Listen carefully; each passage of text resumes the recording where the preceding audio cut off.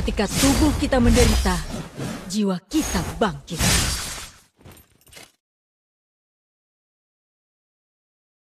Setiap hari pantas dirayakan di negeri yang terkutuk ini. Untuk orang-orang yang hidup dalam penderitaan, setiap fajar adalah permulaan baru.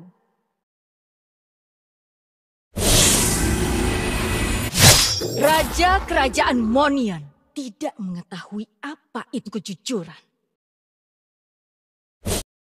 Kegelapan berkumpul saat cahaya matahari memudar.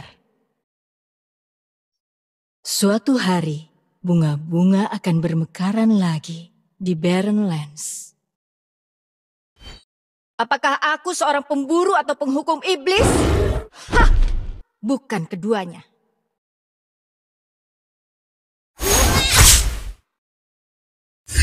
Sopan santun, tidak ada tempat untuk itu dalam pertarungan.